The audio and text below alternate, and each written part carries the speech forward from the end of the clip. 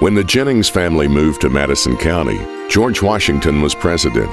For generations, they have been a family of teachers with 193 years of combined teaching history right here in Madison County Schools and at Eastern Kentucky University. Today, my wife is a teacher, my sister is a teacher, and I can say without reservation that balancing the state budget with money from teacher pensions, health care benefits, and reduced school funding is unfair to our teachers and the wrong choice for Kentucky's future. As Madison County Attorney, it will be Robert's job to make our county a safe place to live, work, and educate children.